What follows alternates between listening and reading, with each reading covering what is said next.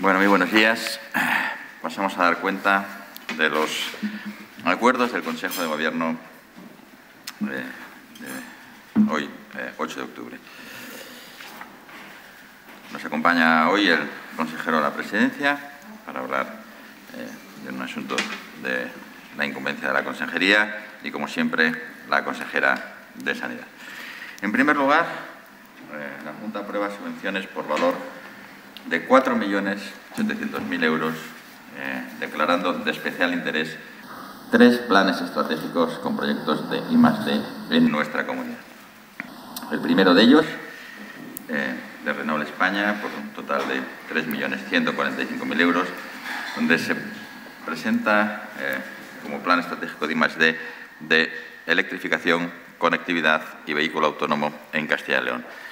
El presupuesto total es de 12.500.000 y nos va a permitir, va a permitir a Renault España consolidar 370 puestos de trabajo en actividades de I+D, a lo que se suma el impacto que este proyecto va a tener sobre el empleo directo, dado que se van a transformar 2.000 eh, contratos temporales en fijos y se contratarán a 150 técnicos e ingenieros, creándose entre 90 y 120 empleos en la Fundación de Aluminio así como otras 20 en nuevas líneas de mecanizado. El segundo de los tres proyectos es de Nicolás Correa Sociedad Anónima, que es una firma líder en Europa, como ustedes saben, en referencia mundial en el ámbito de las fresadoras. Se ponen en marcha dos proyectos en los que se van a invertir 3.079.000 euros y se van a financiar a, través del ICE 984.500 euros. El tercero, de ESA Burgos S.A., perteneciente al grupo Gestamp, en el cual eh, se prevé una inversión de 2.283.000 euros y una subvención de la Consejería de Economía y Hacienda a través del ICE de 570.000 euros.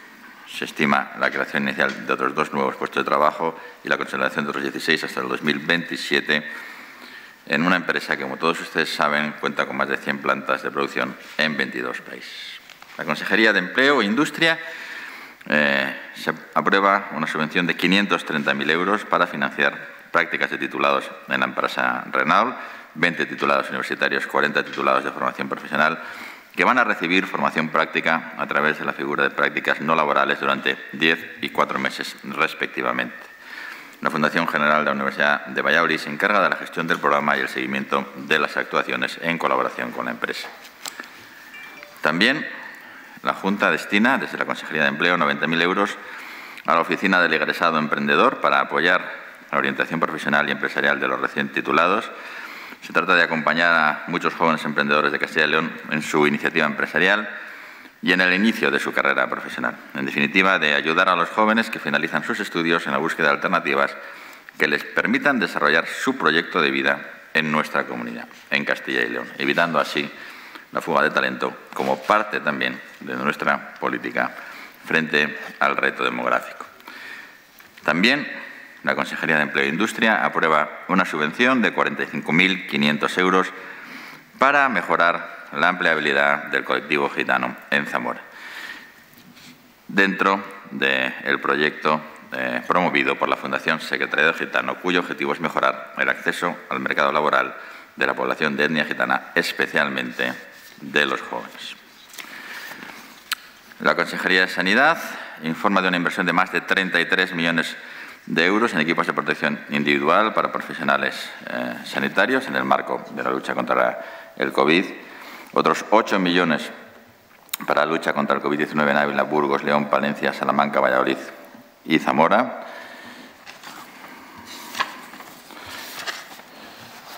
Y asunto importante para Madrigal de las Altas Torres, que es eh, la autorización de 2,47 millones para las obras de ampliación del Centro de Salud de Madrigal de las Altas Torres. La Consejería de Fomento y Medio Ambiente aprueba 1,5 millones de euros para la restauración de 117 escombreras en las provincias de Segovia y Valladolid. También dentro de nuestra política de sostenibilidad medioambiental, 86 escombreras en la provincia de Valladolid, eh, 86 eh, en Segovia, 31 en la provincia de Valladolid. La Consejería de Agricultura, Ganadería y Desarrollo Rural declara de utilidad pública y urgente ejecución cinco concentraciones parcelarias en Burgos, León, Palencia y Zamora, en las que se van a invertir más de 18 millones de euros.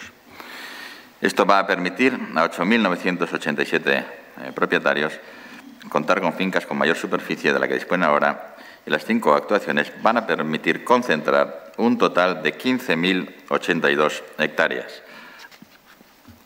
Se trata de las demarcaciones de Olmos de Pisuerga, Naveros de Pisuerga y Castrillo de Río Pisuerga, en Burgos y Valencia, del canal de Villadangos, en el eh, canal de la Velilla de la Reina en León, de la zona regable del canal Alto de Villares en León, de la zona de Osornillo 2 en Palencia y en Fresno de Sayago en Zamora.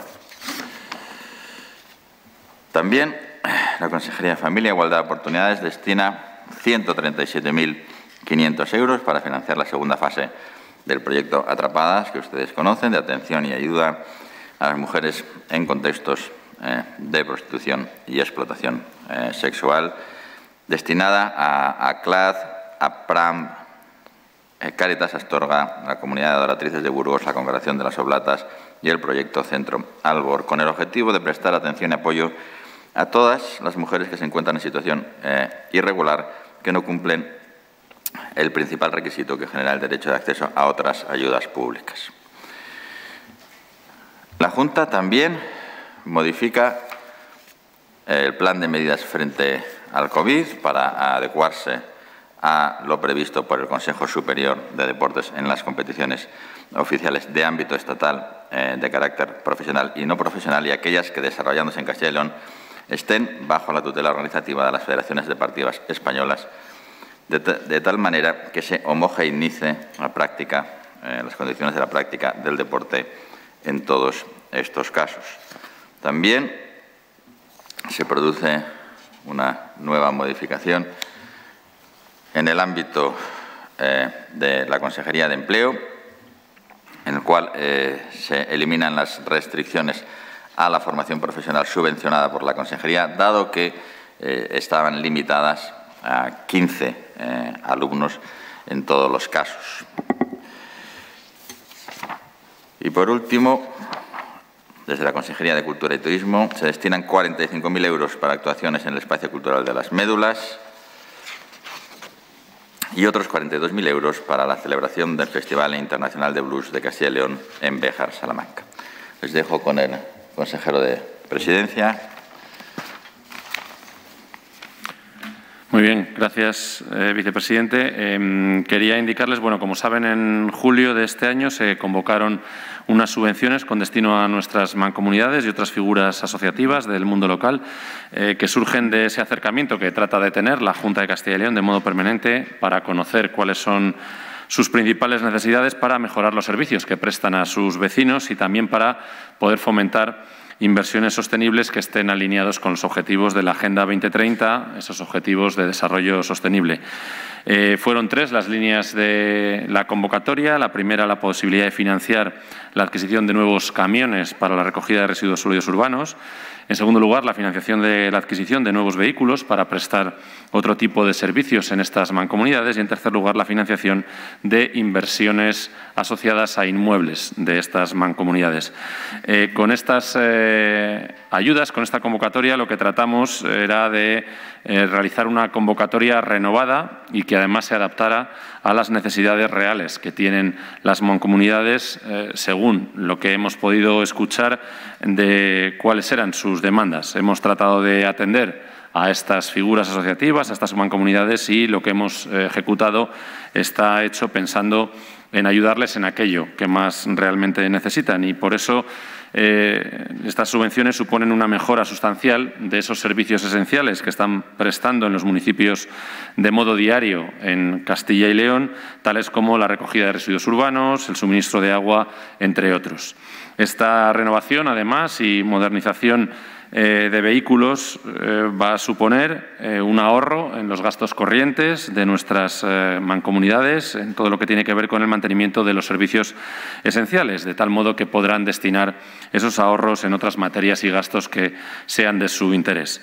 Hoy resolvemos dicha convocatoria de mancomunidades y entidades locales asociativas de tal modo que vamos a alcanzar una resolución que afectará a 46 mancomunidades que comprenden 720 municipios de Castilla y León, que alcanza a más de 425.000 personas de nuestra comunidad autónoma y con una movilización de presupuesto de más de 6 millones de euros. Así, estas ayudas van a permitir alcanzar un triple objetivo. En primer lugar, dotar de vehículos útiles y cercanos a los castellanos y leoneses a través de las mancomunidades y el resto de figuras de carácter asociativo que tienen una cercanía fundamental con nuestro territorio. En segundo lugar, continuar con nuestro ánimo de reactivación de la economía castellano y leonesa en un momento crucial para la recuperación del mundo local, también en plena crisis provocada por la pandemia del COVID-19. Y, en tercer lugar, apostar por una reducción de la huella de carbono en la emisión de CO2 en la comunidad a través de la renovación de vehículos, camiones e inmuebles. Quiero recordar que todos los vehículos que se van a renovar eran de un parque muy obsoleto, en muchos casos de más de 20 millones de euros, y por eso nuestra, nuestro compromiso con la sostenibilidad y el medio ambiente, gracias a la aprobación de estas ayudas, que exige a las mancomunidades no solamente renovar la flota de camiones y otros vehículos, sino también el achatarramiento de los vehículos sustituidos, va a suponer una reducción de las emisiones contaminantes en nuestra comunidad autónoma, de tal modo que se alcanzará un ahorro superior a 320 toneladas de CO2 al año en Castilla y León con la incorporación de estos nuevos vehículos. Quiero recordar, asimismo, y de modo adicional, que estas eh, inversiones corresponden a esa convocatoria de subvenciones a mancomunidades y entidades locales asociativas que se enmarcan en esa movilización de 85 millones de euros previsto en los próximos 12 meses desde la Consejería de Presidencia a través de la Dirección de Administración Local y que, además, en otra serie de actuaciones ya ha permitido alcanzar a más de 800 ayuntamientos, cuatro diputaciones, 46 mancomunidades, englobando un total de 196 inversiones y con casi 18 millones de euros movilizados. Todo este volumen de inversiones que se está impulsando desde la Consejería se está activando a través de cinco convocatorias, la ya mencionada eh, respecto a las ayudas a mancomunidades, el Fondo de Cooperación Local y, por supuesto, lo que será el segundo fondo extraordinario con motivo de la COVID-19. Y todas ellas, además, se están desarrollando dentro de una estrategia global y común, como es esa Agenda 2030 y los 17 Objetivos de Desarrollo Sostenible, como ya puso de manifiesto la cumbre extraordinaria del G20 con motivo de la crisis de la COVID-19. Por ello, Castilla y León está alineada con una recuperación económica que se haga desde la premisa de la sostenibilidad. Y, por último, y para finalizar, insistir en que seguimos de modo paralelo también trabajando en el apoyo a las entidades locales de nuestra comunidad autónoma y por eso estamos eh, apoyando con casi 93 millones de euros los fondos extraordinarios para hacer frente al coronavirus. Saben ese primer fondo extraordinario de COVID-19 de 10,7 millones de euros en el ámbito de los servicios sociales, ese segundo fondo extraordinario que está dotado de 80 millones de euros, que además está acordado en el Pacto para la Recuperación Económica, el Empleo y la Cohesión Social, de tal modo que hay 40 millones en servicios sociales, 20 para inversiones sostenibles y 20 para programas de fomento de empleo, y un tercer fondo extraordinario en el que ya se está trabajando también para eh, destinar a las entidades locales para los gastos extra de limpieza en centros educativos y que es una competencia de las entidades locales, pero eh, a las cuales vamos a ayudar también eh, en el cumplimiento de sus eh, competencias. un pequeño recordatorio de esos 93 millones a los, que he hecho, a los que he hecho referencia, ya 20 millones de euros han sido ingresados físicamente de modo efectivo en las entidades locales y continuamos trabajando para continuar avanzando en esta cuestión. Por mi parte, nada más. Gracias. Buenos días. Bueno, llevamos 232 días desde que la Organización Mundial de la Salud declaró el estado de pandemia a nivel mundial. 229 desde que decayó en, nuestra, en, nuestro país y 109, eh, bueno, desde que se declaró el estado de alarma y 109 desde que este finalizó. Hoy yo quiero hacer un agradecimiento especial a los donantes de sangre Y quiero pedirles ayuda. Quiero pedirles ayuda porque eh, tenemos un fin de semana eh, largo y vamos a necesitar sangre. Especialmente necesitamos sangre de los grupos negativos. Por lo tanto, les pido que por favor se eh, acerquen a, nuestras instalaciones y que donen sangre. Es, importante y desde luego quiero nuevamente decir lo que acabo de decir y es que Muchas gracias a los que con este acto altruista están salvando vidas. En cuanto a la situación epidemiológica de nuestra comunidad, quiero señalarles que en las últimas 24 horas se han notificado 775 PCRs o test de antígenos positivos. Ahora vamos a utilizar un término nuevo que se llama PEDIA, que son las pruebas diagnósticas de infección activa. ¿Por qué? Porque vamos, eh, estamos incorporando de una manera eh, clara y contundente los antígenos de segunda generación, dado eh, lo que pueden aportar en aquellas personas que, son sintomáticas. Entonces, vamos, a hacer, vamos a seguir evidentemente haciendo PCRs, pero también vamos a hacer pruebas de antígenos de segunda generación. Hemos eh, notificado 775 pedías en, estos, en estas últimas 24 horas y eh, lo que les voy a desglosar, como habitualmente por, por, provincias, Ávila ha tenido 209 casos en la última semana, 39 casos nuevos eh, por estas pruebas de diagnóstico de infección activa en las últimas 24 horas. Eh, tiene una tendencia Ávila decreciente. Burgos ha declarado 686 casos en la última semana tiene una tendencia contenida y eh, con 94 eh, pruebas diagnósticas de infección activa nuevas en las últimas 24 horas. León, 1028, tendencia creciente, 104 pruebas positivas. Valencia, 417, tendencia creciente, 47 pruebas positivas.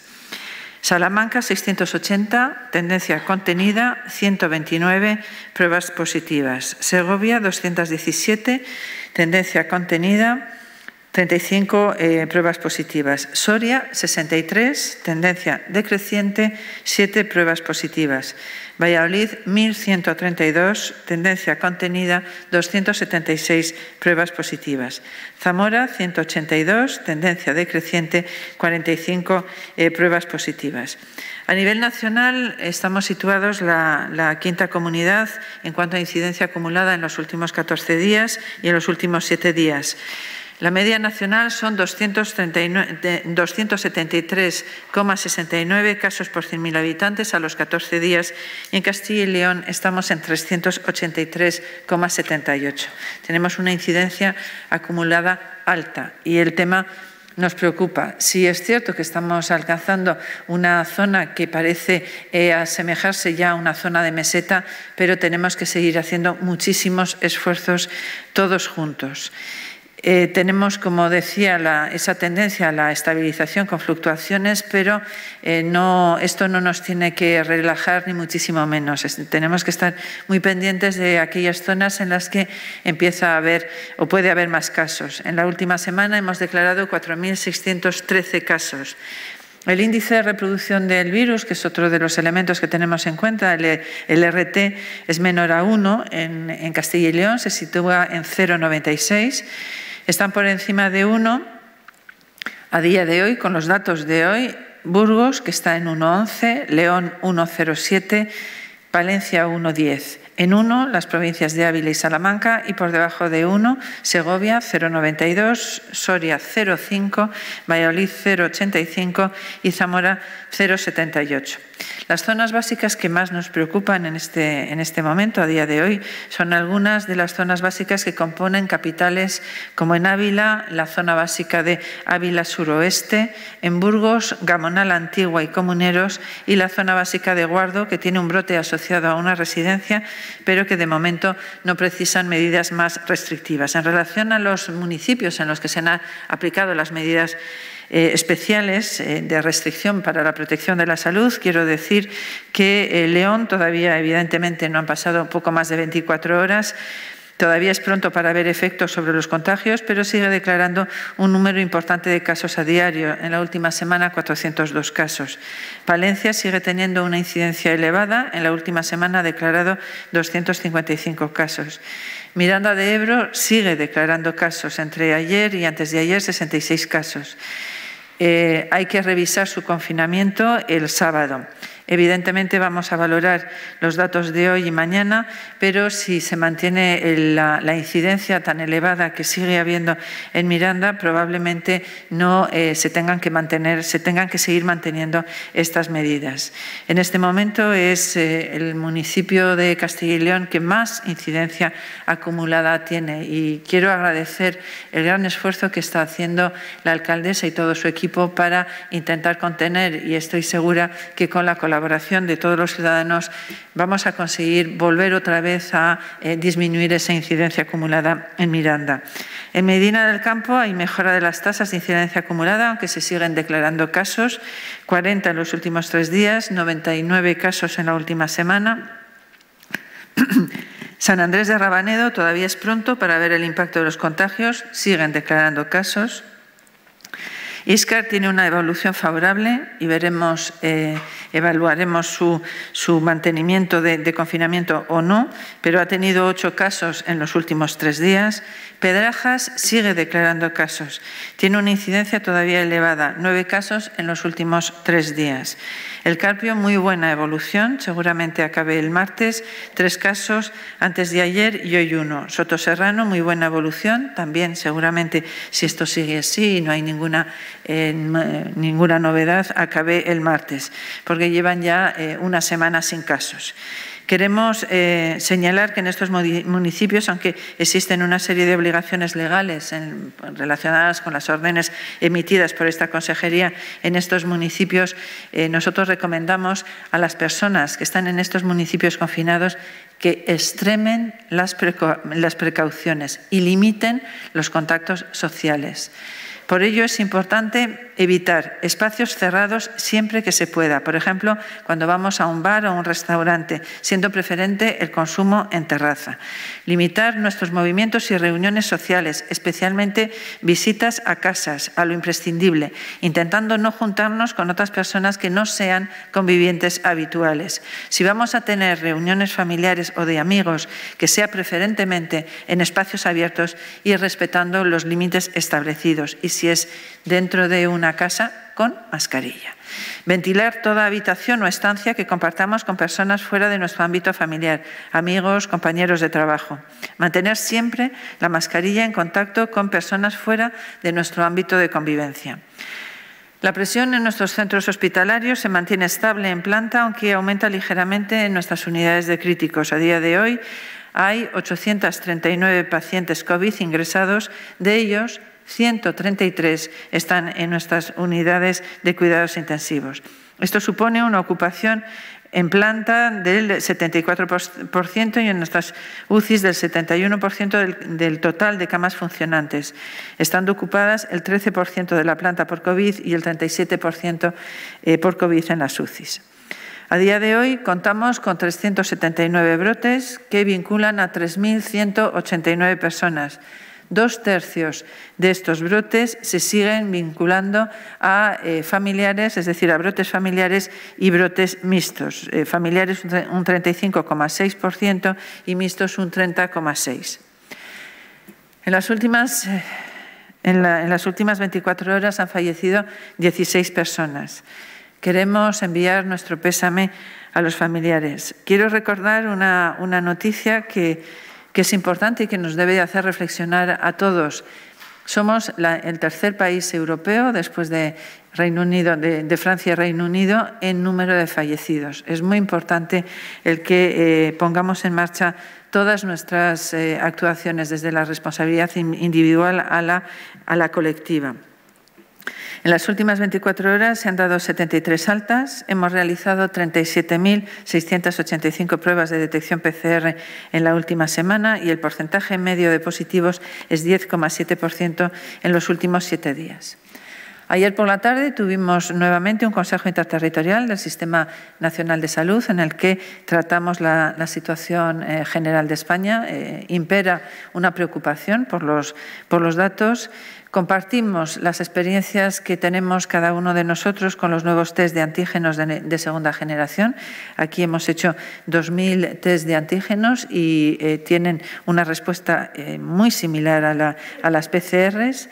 Acordamos hacer una celebración conjunta de las Consejerías de Sanidad y Cultura en un par de semanas y tratamos la creación de un grupo de expertos para que en el plazo de un mes establezcan el marco para desarrollar la evaluación de la actuación de España ante el COVID que se viene que nosotros venimos reclamando desde hace meses.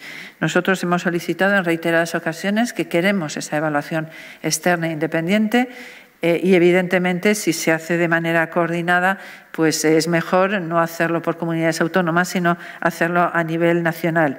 Por nuestra parte volvimos eh, a incidir en esta, en esta necesidad eh, y mandaremos a nuestro experto para este grupo de trabajo. se volvió a incidir en el tema de la necesidad profesionales en la situación en la que estamos actual, pero también de cara eh, al futuro y sobre todo en, en, una comunidad como la nuestra, con este porcentaje de jubilaciones que va a haber en breve. Hemos solicitado un MIR extraordinario y, desde luego, que se agilicen todos los trámites de las homologaciones a profesionales, a, médicos y enfermeras eh, extranjeros, sobre todo, evidentemente, extracomunitarios. Se celebró después de esta reunión eh, del Consejo Interterritorial la reunión con la Comunidad de Madrid, de Castilla-La Mancha, el Ministerio y nosotros, volvimos a insistir en la necesidad de las medidas de control en el transporte interprovincial, tanto en eh, autobuses como en trenes. Como bien saben ustedes, la atención a la patología eh, COVID es, eh, es importante, pero para nosotros siempre ha sido muy importante la atención a la patología no COVID. Sabemos que en una situación de pandemia siempre hay, un exceso de mortalidad y no solamente directamente relacionada con el COVID, sino con el no COVID. Y por lo tanto, para nosotros es una prioridad el que podamos eh, de alguna manera homogenizar y hacer convivir, tanto en atención primaria como en los hospitales, la atención a la patología no COVID con la atención a la patología COVID. Por esta razón, eh, queremos eh, normalizar, no, pero sobre todo mm, homogenizar las actuaciones en los consultorios. No es lo mismo que volver a abrirlos porque no han estado nunca cerrados. Eh, los consultorios han tenido una organización de centralizar la atención eh, a través de la cita previa, inicialmente con un filtro y un triaje de la consulta telefónica para decidir cómo se atiende esa consulta, si se atiende eh, telefónicamente, si se atiende de manera presencial, se atiende en el consultorio o se atiende en el domicilio. Como eh, hemos eh, percibido, evidentemente, que hay una heterogeneidad en el desarrollo y en la aplicación de las normas que hemos dado desde el inicio en relación a, este, a esta a esta manera de, organizarse, eh, tenemos mañana una reunión con todos los gerentes de atención primaria para que unifiquemos eh, los criterios. Eh, la gran diferencia es que ahora, entre los criterios de homogenización que establecemos, es que los consultorios van a centrar la atención a la patología no COVID, centrándose la atención a los procesos respiratorios y posible infección por COVID en el centro de salud.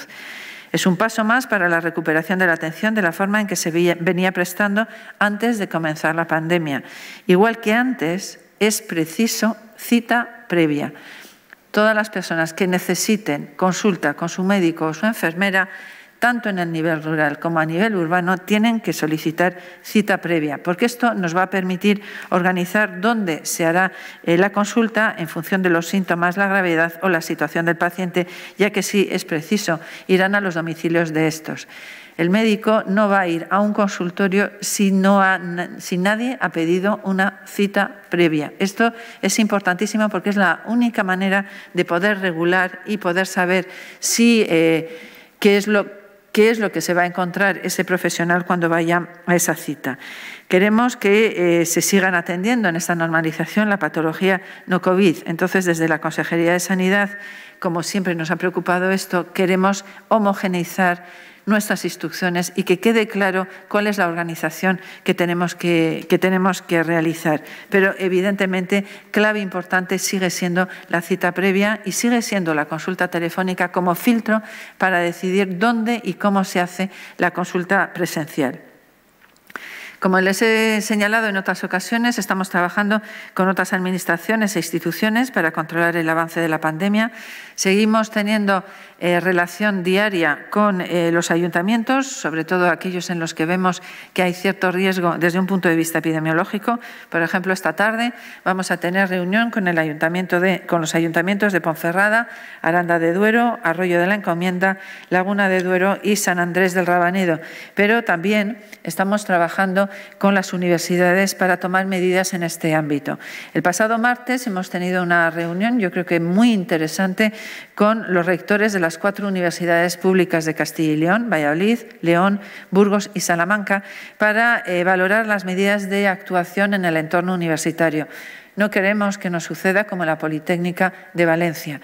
Es importantísima la implicación de nuestros estudiantes y quiero agradecer enormemente los magníficos vídeos y los magníficos consejos que están dando los estudiantes de las diferentes universidades a eh, sus compañeros de clase. Es muy importante porque el problema seguramente no lo tengamos en las aulas, eh, ni muchísimo menos. Lo tenemos en lo que está alrededor de la universidad las fiestas en pisos, eh, las celebraciones varias, etcétera, etcétera. Esto ahora no puede ser. Si queremos eh, seguir adelante, eh, es importante que se tenga esto en cuenta. Y ellos mismos, yo creo que lo son, muchos de ellos lo son y son muy conscientes que se están jugando su futuro, porque lo que pase ahora va a determinar mucho su futuro. Y no me refiero solo a su futuro en cuanto a salud, sino su propio futuro, eh, su propio futuro social y su propio futuro económico. Como ustedes saben, seguimos estando en una situación de emergencia sanitaria y debemos de seguir teniendo todas las precauciones necesarias. Como he dicho antes, dos tercios de los brotes se están produciendo en ámbito familiar y mixto. Por lo tanto, es muy importante que, eh, que respetemos las denominadas burbujas sociales y burbujas domésticas. Siempre que estemos con nuestros eh, familiares habituales, convivientes, podemos estar sin mascarilla, pero cuando vayamos a visitar a otros familiares que no son nuestros convivientes habituales, a amigos que no son nuestros convivientes habituales, como he dicho en otras ocasiones, el cariño y la amistad no protegen del virus, son magníficos, son estupendos, nos mantienen a todos vivos, pero no nos protegen del virus y por lo tanto es importante que sigamos manteniendo en todo momento eh, todas las medidas de, eh, de precaución. Hay que recordar que eh, la responsabilidad individual sigue siendo la clave. Mientras no tengamos otra manera de abordar eh, los contagios, la responsabilidad individual, en la aceptación de las medidas que hay que eh, tomar, ya sean de cuarentenas, ya sea de aislamiento o ya sea de movilidad, tenemos que respetar todos y cada uno estas medidas. Recordar algo que hemos dicho ya en muchas ocasiones. Si tenemos síntomas compatibles con COVID, tos, fiebre, diarrea, pérdida de olfato, nos quedamos en casa. Si estamos a la espera de que nos hagan una PCR por tener síntomas o ser contacto estrecho de un caso positivo, nos quedamos en casa. Si estamos a la espera de un resultado de PCR, nos quedamos en casa. Y este muy importante, si nuestra PCR ha sido negativa, pero hemos sido contacto estrecho de un caso positivo, nos quedamos en casa. Una PCR negativa no supone que no podamos estar libres de la infección. Puede que estemos en periodo de incubación si el contacto ha sido estrecho. Por lo tanto, tenemos que cumplir la norma de quedarnos en casa. Las tres M's, no las olvidemos. Lavado de manos, manos, mascarilla y metro y medio. Y recordar una frase eh, que hemos eh, hecho circular a través de un magnífico vídeo de la doctora Lalanda la última frase dice algo que nos recuerda que la vacuna contra el coronavirus somos cada uno de nosotros, somos todos. Muchas gracias.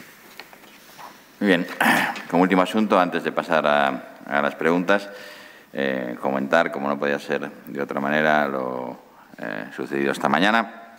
por parte del Tribunal Superior de Justicia de Madrid y recordar a nuestra población esa decisión no afecta a las medidas tomadas en la comunidad, que están ratificadas en gran parte de ellas y pendientes de ratificación eh, por parte del Tribunal Superior de Justicia de Castilla y León en lo que refiere a León y a Palencia. ¿eh? Por tanto, no eh, nos, nos, corresponde a nosotros la valoración de esto y sí que pedimos, es como siempre hemos pedido, máxima confianza en la justicia, que hasta el momento presente pues ha ido ratificando las medidas adoptadas por la Junta de Castilla y León nuestro respeto absoluto a la, independencia y siempre, como siempre hemos recordado, la justicia es una garantía para todos nosotros. Nada más, eh, quedamos dispuestos a sus preguntas. Sí, hola, buenos días. Eh, yo les quería preguntar, con respecto a la regulación de la guía del deporte federado, si nos pueden eh, explicar eh, de, alguna manera eh, las pautas generales y si los aforos, si se aprueba el aforo para, el 50%, como, como, se había indicado con anterioridad en, en, algunos otros actos, y luego también en el tema de la mascarilla, los cambios que introducen a efectos prácticos, qué no se puede hacer ahora que se estaba haciendo y si ya tienen pensado qué experto va a representar a Castilla y León en, la evaluación de, en el informe de evaluación de situación. Con respecto perdón, al, deporte federado, eh, queda todo sometido al protocolo del Consejo Superior de Deportes, tal y como está eh, regulado en ese protocolo. Eh, con respecto a la mascarilla, no hay novedad ninguna más allá de que eh, insistir en el, eh, la obligación estricta de permanecer con la mascarilla, aún que se esté eh, o sea, quitándosela solo para el acto de ingerir alimentos, nada más. todos yo creo que somos conscientes de las cosas que se ven. Y, mm, y que su uso es obligatorio eh, también en el ejercicio físico en espacios cerrados. Y esto es para todos. ¿eh? Y yo creo que nada más. Bien, en relación a, la experta, eh, la persona que va a ser designada es la doctora Pérez Boillos, que es especialista en medicina preventiva, que es una experta en evaluación de calidad es una experta en sistemas de, información y evidentemente en este grupo, el grupo del Ministerio lo que va a determinar es el marco en el que este, esto se va a hacer, pero también quiero recordar que eh, los expertos del Lancet, eh, los expertos del Lancet, quiero decir los expertos que publicaron las dos, las dos publicaciones en el Lancet, estamos en contacto eh, bastante seguido y fluido con, con muchos de ellos y nos han dicho que van a elaborar una guía, que es una guía de indicadores, una guía para la evaluación y desde luego nosotros vamos a apoyar mucho esa, esa guía que, ellos, que ellos hacen como expertos.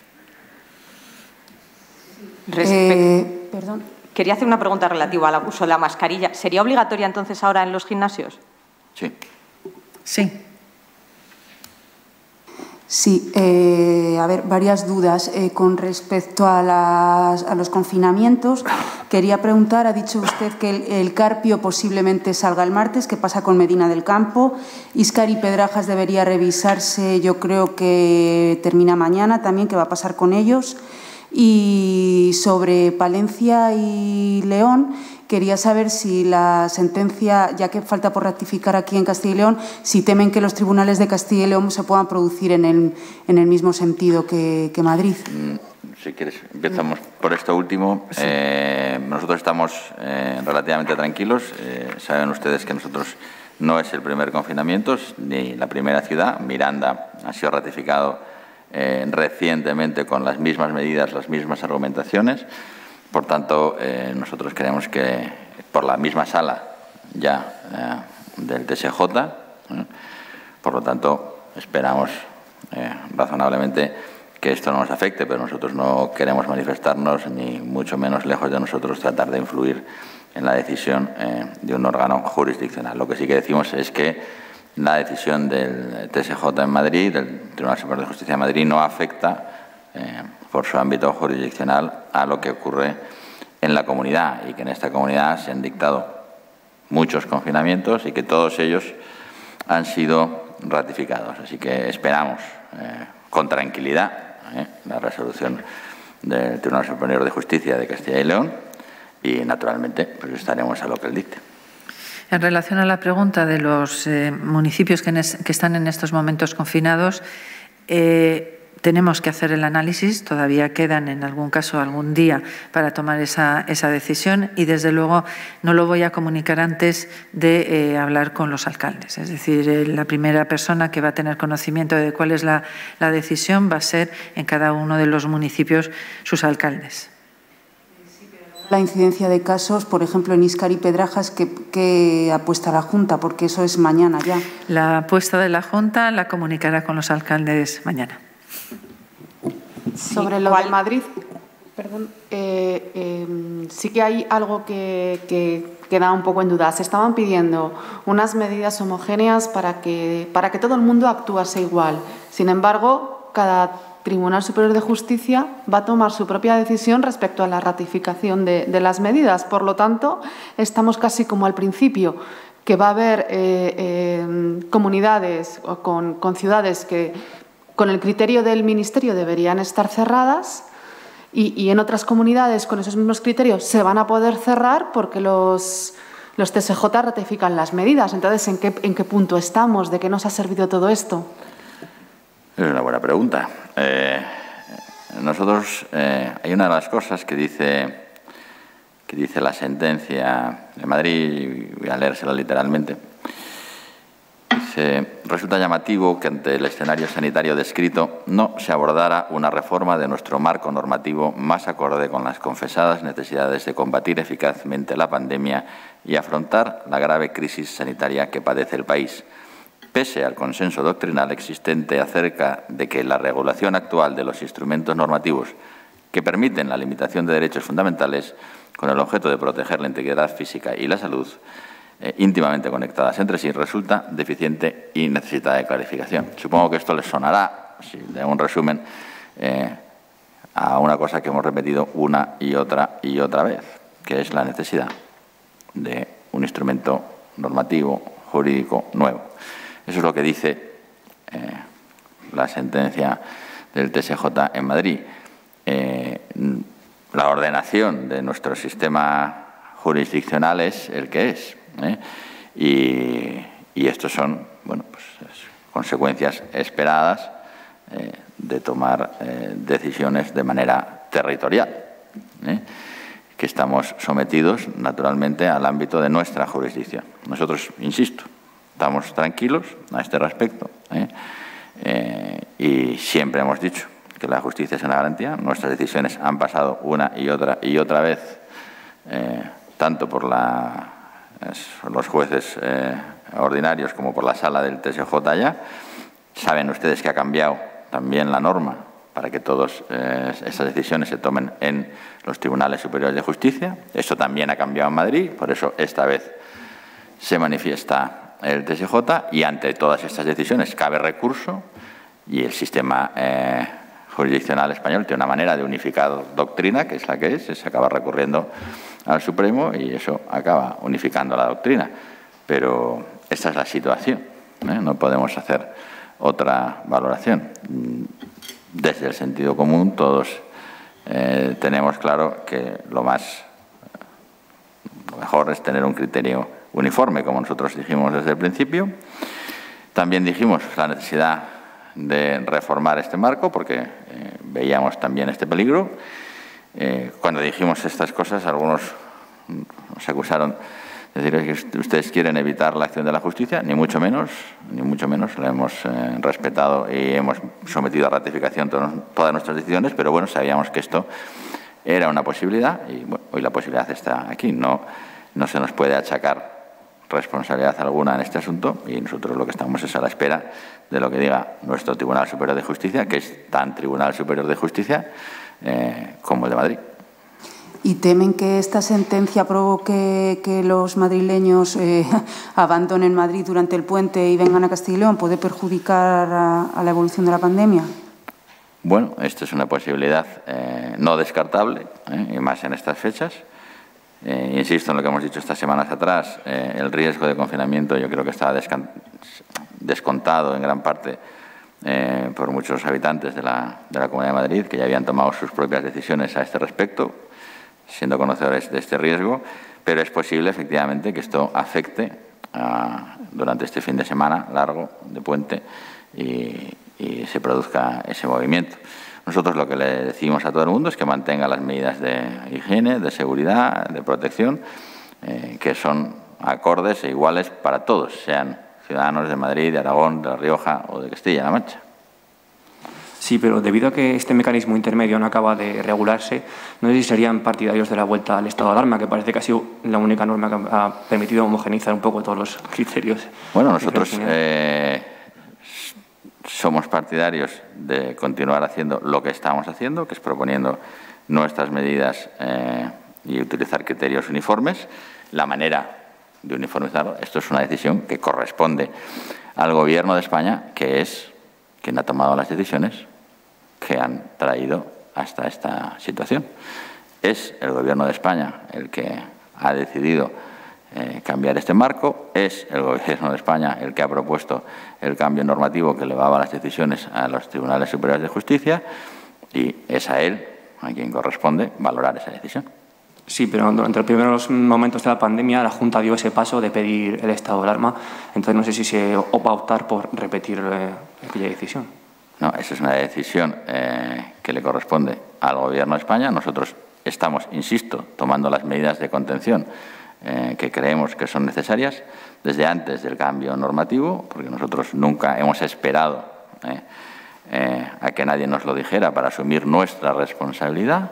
La hemos asumido antes y después del cambio normativo. Esta comunidad no ha escurrido su responsabilidad en ningún caso y creo que hemos dado sobradas pruebas de ellas pero hay una responsabilidad que es del Gobierno, que la debe de asumir él. Sí, con respecto a los criterios marcados por, el Gobierno precisamente que llevaron al confinamiento de León y Palencia, no sé si en, alguna otra, en alguna otra gran ciudad, como puede ser Valladolid, que está un poco ahí al límite, se han superado esos niveles y tienen que confinar o qué previsiones hay. Bueno, yo quiero aclarar una cosa y es que León y Palencia estaría igualmente confinado con los criterios del Ministerio o, son, o sin los criterios del Ministerio. ¿Y por qué? Pues porque desde el mes de julio estamos tomando decisiones en, muchos municipios y, se han tomado este tipo de decisiones. Es decir, que el limitar la movilidad o el limitar eh, los aforos es algo que ya veníamos haciendo en Castilla y León. Eh, hasta ahora. Eh, Valladolid está teniendo una tendencia correcta. No, podemos estar tranquilos en ninguno de los municipios, pero no está tan al borde. Sí, ¿y cuál es la tasa de incidencia de todas las capitales? Ha hablado de dos que preocupan un poco más, sobre todo ciertos barrios como Ávila y Burgos. Si nos dice de todas las capitales, no vamos preguntando una a una. Y de Miranda de Ebro, que es una de las grandes localidades que también está confinada y que ha dicho que también tiene una situación preocupante. Y por otro lado, en cuanto a la sentencia del Tribunal Superior de Justicia, no sé si lo consideran un varapalo para el Gobierno central y si hacen algún tipo de llamamiento a los madrileños ante esa posibilidad de que vengan a pasar el puente, para que no vengan o... No, mire, nosotros eh, sobre la valoración de la sentencia eh, en relación al Gobierno central, le digo, es, eh, nosotros siempre hemos asumido nuestras responsabilidades, nuestras responsabilidades se han cumplido y en este momento esa es una decisión que corresponde. yo no lo he dicho muchas veces y lo voy a repetir hoy, nosotros no estamos aquí para eh, aprovechar cada error del gobierno o de un enemigo político para darle una patada en la espinilla, no es nuestra intención. Eh, no lo hemos hecho, eh, no lo hacemos y no lo haremos, ni con el gobierno central, ni con las comunidades, ni con los ayuntamientos. Por tanto, no vamos a hacer esa, esa valoración. Y con respecto a la necesidad o no de hacer un llamamiento a los ciudadanos de la Comunidad de Madrid, no, hacemos un llamamiento a todos los ciudadanos a reducir la movilidad. Se lo hacemos a los ciudadanos de la comunidad, lo tenemos colgado en el mapa todos los días. Todos los días recomendamos cada día a los sitios donde hay alta incidencia no te muevas si no es necesario. Eh, y lo que recomendamos a los ciudadanos de nuestra comunidad, se lo recomendamos a todos, ni más ni menos. Nosotros eh, no tratamos diferente a la gente por eh, su territorio de origen, sino por su incidencia acumulada de la enfermedad en ese territorio. No hay ningún criterio territorial, los criterios son epidemiológicos y en las zonas donde hay alta incidencia lo recomendable es que los ciudadanos no se muevan. Sí, yo quería hacer mm, varias preguntas. bueno, me quedan lo de las capitales, ¿no? Ah, es verdad. Voy a hacerlo primero por provincias porque el de las capitales no le encuentro aquí. Entonces, eh, por provincia tenemos en, en Ávila tenemos 233.000 por 100.000, perdón, 233 por 100.000 habitantes, en Burgos 210, en León 152, estoy hablando provincia, ¿eh? 441 eh, en Ponferrada, 152 en Palencia, no, perdón, perdón, perdón, borren todo lo que acabo de decir, 8 de octubre, es que estoy leyendo las de 1 de septiembre y decía, uy, qué bien estamos, no es cierto. Ávila, 272 por 100.000 habitantes. Burgos, 393 por 100.000 habitantes. León, 486. Eh, Ponferrada 237, Valencia 458, Salamanca 403, Segovia 245, Soria 196, Valladolid Oeste 372, Valladolid Este 491 y total Zamora 278. Y eh, la, media a nivel de Castilla y León es 376,7. Eh, Como no tengo aquí la de las capitales, se lo hacemos llegar. Sí, quería hacer eh, varias preguntas. Ha hablado de, los transportes y de la preocupación que sigue habiendo con las conexiones con, Madrid. Yo quería preguntarles por los autobuses interurbanos aquí en Castilla y León. Eh, nos llegan noticias de que los autobuses entre Valladolid y Palencia siguen llegando en horas punta al 100% de ocupación. No sé si tienen previsto, si tienen constancia o previsto de tomar alguna medida al respecto. En segundo lugar, el PSOE de Palencia ha propuesto hacer test masivos para intentar hacer un cribado de la enfermedad allí. Eh, ustedes en otras ruedas de prensa nos han mostrado muy partidarios de ese modelo, no sé qué opinan de esta propuesta. Y por último, eh, no sé qué valoración tienen de eh, la apertura de investigación por parte de la Fiscalía del caso de Sonia Sainz Maza. Bueno, yo contesto estas dos últimas. Los cribados masivos es algo que eh, se ha planteado en varios, por varios expertos en algún momento y, ellos mismos eh, consideran que esta no es eh, la mejor medida para hacerlo. Y de hecho, ya hemos tenido experiencias en Sotoserrano, la experiencia que hemos tenido en Pedrajas.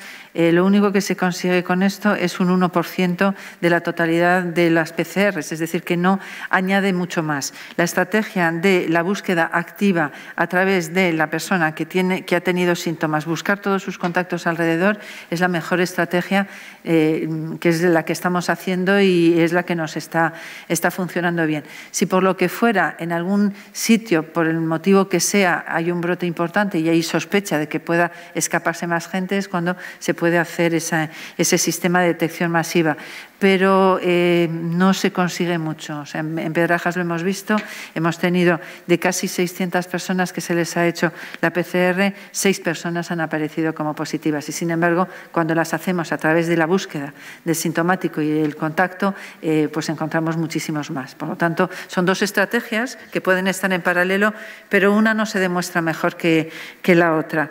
Eh, y la siguiente Sí, el caso de ah, el Vamos a ver, es un caso que ahora ya está en manos de la, de la justicia y en esas manos tiene que estar.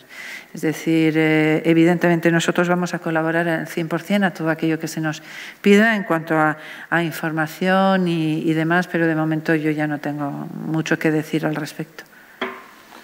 Bien, sobre el asunto eh, de los autobuses entre Valladolid y Palencia. Eh, comprobaremos eh, este extremo que nos dice no debería estar siendo así en estos días, eh, básicamente porque la movilidad eh, está prohibida, salvo para el trabajo. Por lo tanto, es de esperar que en estos días en estos días no ocurra así, pero lo comprobaremos. Sí teníamos conocimiento de los traslados por parte de los universitarios, que sabe que gestionan ellos. Estuvimos comentando este aspecto también con el rector para que hiciera una valoración de cómo estaba la situación de esos traslados, que también nos preocupaba en la reunión que tuvimos el martes.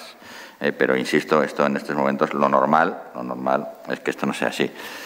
Eh, sí me gustaría, bueno, hacer una, una valoración sobre lo que ha comentado a propósito del peso de Valencia. Hombre, yo creo que estas no son las maneras de hacer las cosas. Eh, el Partido Socialista en esta comunidad supongo que tiene un portavoz de sanidad y que si tiene que hacer una, alguna aportación a la estrategia, lo normal es que haga una aportación a la estrategia global y que no tengamos que estar viendo una aportación a la estrategia en cada provincia, porque es que eh, el Partido Socialista eh, de Castilla y León es ya prácticamente inexistente, es la suma de nueve eh, partidos socialistas, uno en cada, en cada provincia, que dice cada uno una cosa. Esto es una cosa seria y a mí me gustaría que si el Partido Socialista pues, tiene una aportación que hacer desde su grupo de estudio de sanidad, si es que tal cosa existe, pues la haga para todos igual. Sí, eh, otras eh, varias preguntas. Eh, en uno de los expedientes han aprobado una inversión urgente en varias provincias de Castilla y León. No sé por qué no, no entran en este reparto Segovia y Soria. Eh, le preguntaba antes mi compañera por, el deporte, yo quería preguntar por las extraescolares. No sé si han mantenido una reunión con el colectivo de, empresas que, eh, ponen en marcha estas extraescolares y si se plantean en algún momento recuperarlas eh, o prefieren esperar este trimestre. Y otra cuestión sobre los presupuestos generales de la comunidad. el plazo por el estatuto concluye el próximo día 15. Eh, no va a dar tiempo, no sé si están manteniendo reuniones o un poco qué previsiones tienen en este sentido. Bien, eh, sobre el asunto de las extraescolares se ha comentado en el eh, Consejo de Gobierno y la Consejería de Educación ha quedado en reunirse con su grupo de trabajo para valorar la vuelta o no de las extraescolares. Sobre el asunto de, me dice que hemos aprobado unos, no sé exactamente a qué parte del orden del día Sí, son unas ayudas de urgencia COVID a, siete capitales, a siete provincias y falta Segovia y Soria, no sé por qué. No, pues se van aprobando a lo largo de la... Ha habido acuerdos diferentes que son obras pues, en las UBIs y tal y se van aprobando eh, una detrás de otra, pero no, no es que esté nadie excluido, no, no hay nadie excluido a este respecto. Y sobre el presupuesto, bueno, nosotros eh, sabe que se estábamos pendientes eh, de un asunto importante que era el techo de gasto eh, y los datos que hacen posible hacer el presupuesto. Eh, ya tenemos parte de esa información, se está empezando a elaborar, ya se ha dado la orden de inicio de elaboración, también se está mandando esta información a los grupos parlamentarios a los que, como sabe, hemos ofrecido la posibilidad de acuerdo y digámoslo así, la elaboración del presupuesto eh, ya está iniciada. Eh, no le pondré un plazo exacto, pero esperamos tenerlo en breves semanas.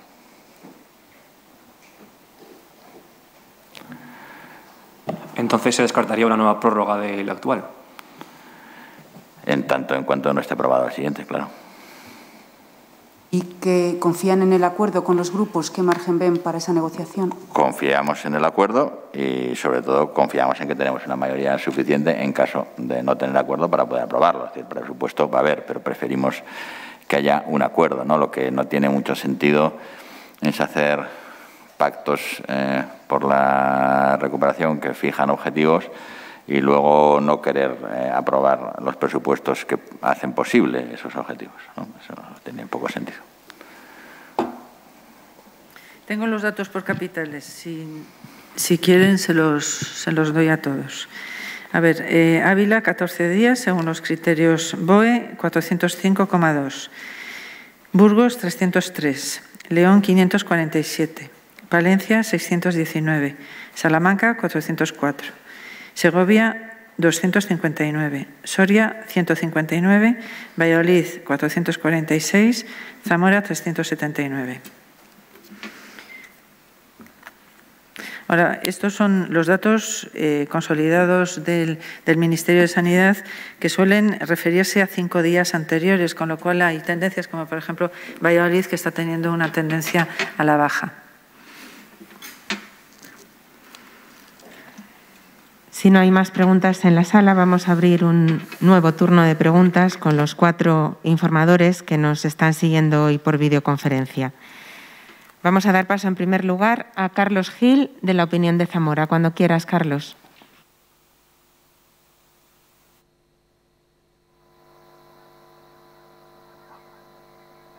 No se te escucha, Carlos. Creo que tienes cerrado el micrófono.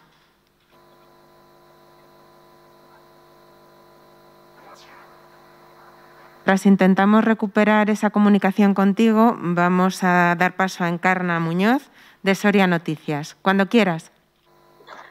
Hola, buenos días. Mi primera pregunta va dirigida al vicepresidente IGEA. En Soria son ya varios los colegios que han solicitado que se les apruebe la jornada continua como una medida provisional y excepcional mientras dure la pandemia. No sé si es algo que están valorando desde la Junta y si no consideran que es un riesgo duplicar las entradas y las salidas a los centros y con ello también los contagios. Y con, perdón, los contagios, no, los contactos. Y para la consejera Casado, respecto al coronavirus, quedan todavía grandes incógnitas y una de ellas es la inmunidad. Me gustaría conocer si se están produciendo y también registrando los casos de recontagiados en Castilla y León y en Soria y si está programado un nuevo estudio de seroprevalencia y para cuándo. Muchas gracias.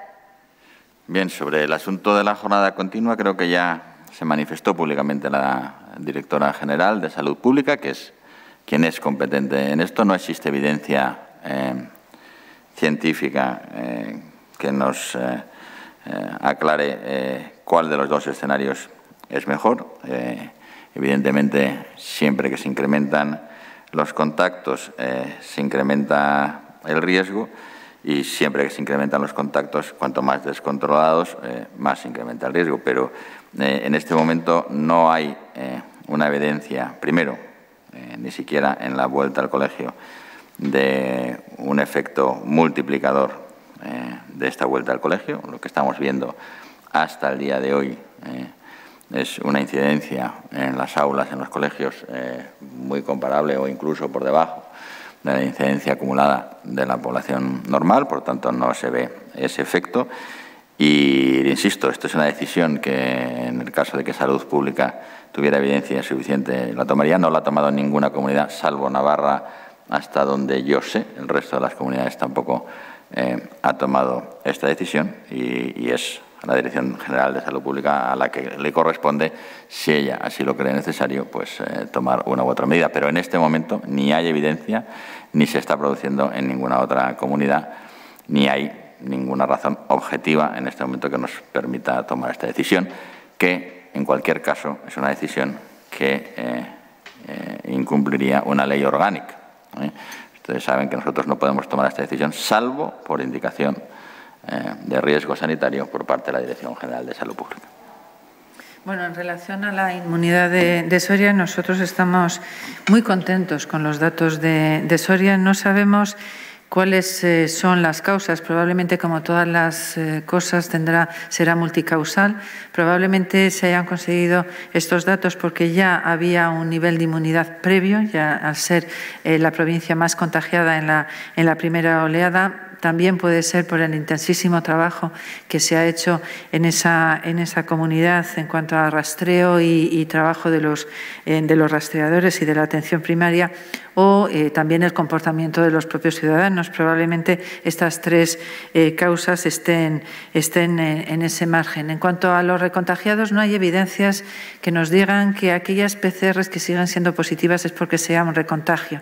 Por lo tanto, hasta el momento no podemos decir que existan recontagiados Sí que se ha visto en algunos casos que había personas que sin sintomatología eh, seguía detectándose PCRs positivos y se cree que eh, puede quedar parte del genoma del virus y se siga detectando por eso, pero como tales no se les identifica como recontagiados. En cuanto al estudio de seroprevalencia, eh, nosotros eh, apoyamos en su momento la realización y seguimos haciéndolo y va a haber un nuevo estudio de seroprevalencia con tres oleadas y la primera va a ser ahora en, en la segunda quincena de octubre. Hay otra que creo que será en enero y me parece que la tercera está en torno a mayo-junio, pero va a haber tres oleadas y son tantos que son muy importantes porque nos van a indicar eh, si vamos caminando hacia una inmunidad de rebaño y esto sería importante. Y luego de cara a cuando tengamos la vacuna, pues saber qué, nivel de inmunidad tenemos ya en Castilla y León, pues eh, va a ser muy, muy importante.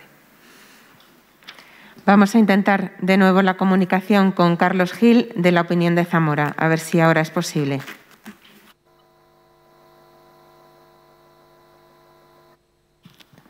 Por, favor, Carlos, comunícanos tus preguntas a través de una línea interna porque vemos que no, que no es posible. La siguiente intervención la realiza Tamara Navarro, de Tribuna de Salamanca. Buenos días. ¿Creen que el nuevo robot que ha llegado al Hospital de Salamanca es la solución para el problema de realización de pruebas PCR que arrastramos desde hace tiempo? ¿Y si habrá suficiente reactivo para él o podría ocurrir como con el que ya tenemos? Y por último, si nos podían hacer una valoración de los 36 alumnos que han sido expulsados eh, de la universidad por incumplir las normas sanitarias. Gracias. 36 alumnos. 36 alumnos expulsados. Ajá, vale. Bueno, en cuanto al, robot, de ayer hicimos una fiesta porque estábamos todos muy, muy contentos porque, eh, bueno, fuera de bromas, el nuevo robot de Abbott eh, llegó ayer. La verdad es que eh, con este nuevo robot vamos a poder realizar 800 PCRs al día en Salamanca. Vamos a adecuar la oferta y la demanda en cuanto a las PCRs.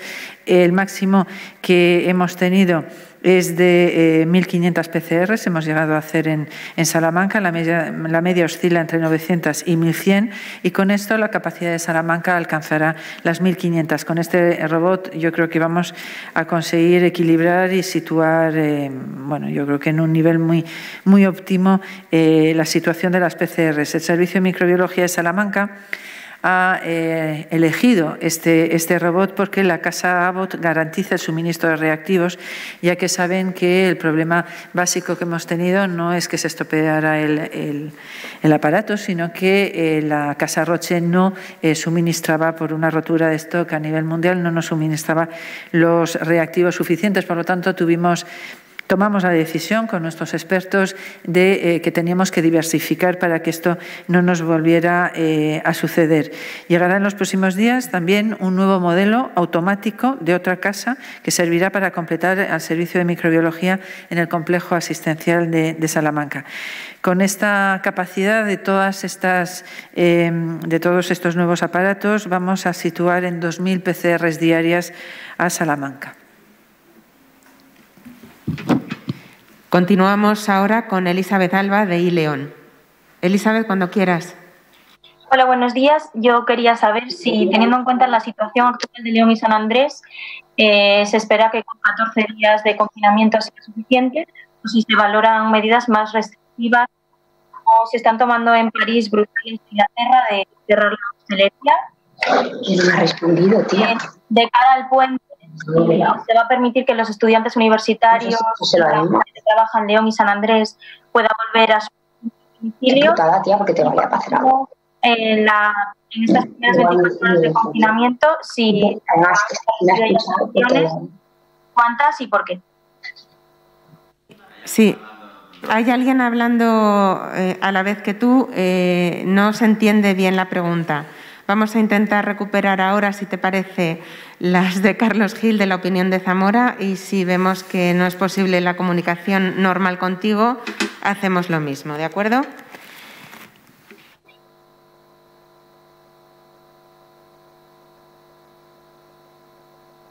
Eh, ¿eh?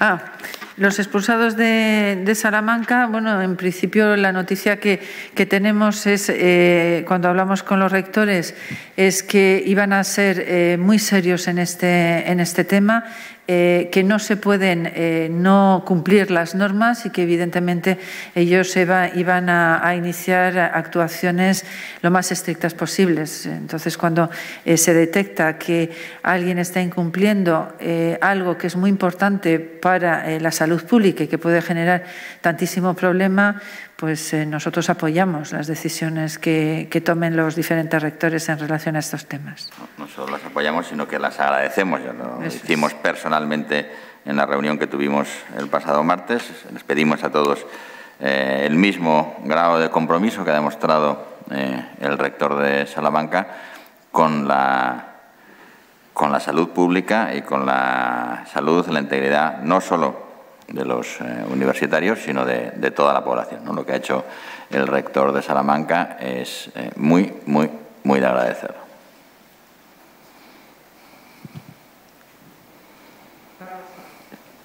Continuamos ahora. Pedimos disculpas en primer lugar a todos, pero en especial a los consejeros, porque entendemos que es difícil seguir una formulación de preguntas así y tampoco estaban llegando por línea interna. Ahora sí. Carlos Gil, de la opinión de Zamora, Quería preguntar, eh, en este caso a la consejera, si la situación de Madrid no obliga a algún cambio de estrategia, dado la fuerte relación que hay con la capital de España y Castilla y León.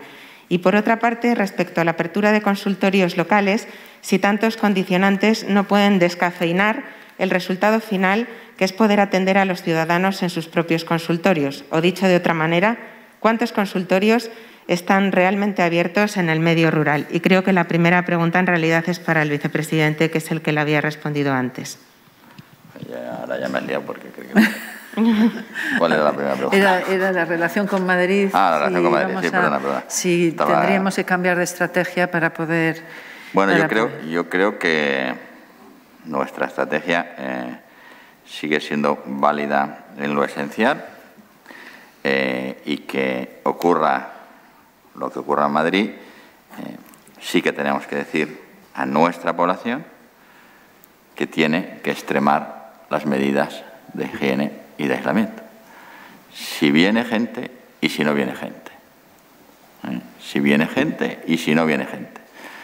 Las medidas en la hostelería, las medidas de distancia, las medidas de higiene, eh, hay que extremarlas. Hay que extremarlas en estos días. Es mejor tomar eh, medidas que frenen la movilidad en los sitios de alta incidencia? Ya lo hemos dicho. Ya lo hemos dicho tantas veces que no creo que sea necesario repetirlo. ¿Cuál es nuestro criterio? Lo hemos dicho y lo hemos demostrado. Y no cambia nuestro criterio eh, en esta situación. A ver, en relación a los consultorios locales. Los consultorios locales no están cerrados, no se cerraron nunca. Se tomó una decisión de manera eh, a nivel nacional, esto no está sucediendo solo en Castilla y León. La decisión que se tomó es que, dada la alta contagiosidad del coronavirus, de alguna manera se centralizara la atención en determinados puntos, se hiciera consulta telefónica para que la consulta telefónica permitiera el triaje del tipo de paciente que se iba a atender y que, eh, y que evidentemente esto permitía poderlo ordenar. Hemos visto que hay heterogeneidad en la aplicación de, esta, de estas normas y lo que queremos es que haya homogeneidad. Por lo tanto, tiene que haber cita previa. La cita previa es ineludible es algo que hay que hacer. Nadie imagina a un cardiólogo yendo pueblo por pueblo para ver si alguien tiene palpitaciones. Esto no puede ser y con los médicos de familia también. Si queremos tener una medicina digna, tenemos que hacer que el profesional responda cuando se le necesita. Y, evidentemente, si cualquiera necesita eh, algo no relacionado con el COVID, llama a su centro, pida cita y el profesional hablará con él e irá al consultorio a verle, a ese consultorio que no se ha cerrado nunca. Entonces, esto que estamos diciendo queremos que se haga en todos los sitios de manera igual, pero no tenemos que olvidar algo que es fundamental. Estamos en epidemia, tenemos una epidemia, tener en una sala de espera a 20 personas y una de ellas que pudiera estar infectada, eso supone un drama auténtico y tenemos que ser conscientes de las cosas que decimos cuando las decimos. Entonces, es muy importante que sigamos protegiendo, por una parte, a los profesionales. A mí no se me olvida que hay tres fallecidos médicos de familia en esta comunidad autónoma. Tenemos que proteger a los profesionales, tenemos que proteger a las personas y proteger a las personas es establecer cauces y organización para protegerles lo más posible. Evidentemente, si no hay eh, atención suficiente porque se hace una demanda y no se responde a ella, eso lo queremos saber para intervenir también. Pero lo que, vamos, lo que queremos hacer es que se apliquen estas medidas y se hacen por protección de la salud de las personas y por protección de la salud de los profesionales. Pues vamos a recuperar ya por último las preguntas realizadas por Elizabeth Alba de Ileón. En primer lugar, si 14 días son suficientes para confinamiento en León y San Andrés con la incidencia actual, si se contemplan otras medidas más restrictivas como París, Bruselas o Inglaterra de cerrar hostelería y bares, también si los estudiantes y trabajadores podrán salir durante el puente a sus primeras residencias de León y San Andrés, y finalmente cuántas sanciones se han producido y por qué causas en León y San Andrés en estas primeras 24 horas de confinamiento.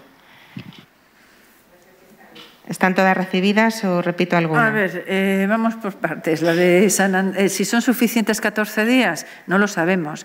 Se establece 14 días porque es, el, eh, es, la premisa establecida por la Organización Mundial de la Salud, que es el tiempo de contagio. Entonces, por eso se establecen 14 días. Si en esos 14 días hay una mejoría absoluta de las tasas epidemiológicas, pues evidentemente se puede relajar las medidas. Lo que sí que estamos viendo es que a más grande es una población, más difícil es conseguir que en 14 días eh, se llegue a una situación de, seguridad. Pero por eso se analiza todos y cada uno de los días cuál es la situación epidemiológica. La siguiente. Por favor. La siguiente era si se contemplan otras medidas más restrictivas, como está ocurriendo en París, en Bruselas o en Reino Unido, de cerrar hostelería y bares. Se contempla, eh, eh, evidentemente, se analiza cuáles son las medidas que más impacto tienen, por eso mm, es muy importante lo que nos dicen los expertos en relación a estos temas. Y ahora mismo pues, nosotros no tenemos una, decisión tomada a este, a este respecto, pero estamos muy cerca analizando lo que se dice en el Consejo de Europa, lo que dicen los ministros de Sanidad y de momento es algo que eh, se ha comentado en el Consejo Interterritorial, pero no se ha tomado ninguna decisión al respecto. La tercera pregunta era si los estudiantes y trabajadores van a poder salir durante el puente a sus primeras residencias desde León o San Andrés. En principio, todas las movilizaciones al domicilio yo creo que sí que están eh, permitidas cuando es a tu domicilio. Sí, pero recomendamos lo que hemos dicho siempre. Lo que recomendamos es que no se muevan. que no se muevan y si se van a mover y van a estar con personas que no han sido sus convivientes habituales en los últimos días, pues que utilicen medidas de seguridad incluso en sus domicilios. Y en, estas primeras 24 horas de confinamiento, si se habían producido sanciones. No puedo decirles porque esto lo, recoge la, delegación y no, creo ni que esté recogidas eh, todas en este momento, pero les pasaremos ese dato cuando de acuerdo, pues muchas gracias a todos. Se acaba aquí la rueda de prensa.